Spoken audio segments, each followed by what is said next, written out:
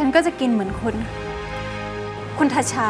เป็นของฉัน ฉันเข้าใจแล้วว่าทำไมคุณถึงไม่อยากให้ฉันเข้าไปในบ้าน คุณยังกล้ารักผมอยู่ไหม ต่อให้คุณจะกัดคอฉันฉันก็ไม่กลัว คุณได้กับจิงพาวยัง คุณพาผมมาที่ทำไมเนี่ยฮะ ฉันจะขังคุณไว้ที่นี่ไม่ให้หนีไปหายายพิงค์คุณรักหลับฉันใช่ไหม คุณไปกันใหญ่แล้วเนี่ยรู้ตัวหรือเปล่า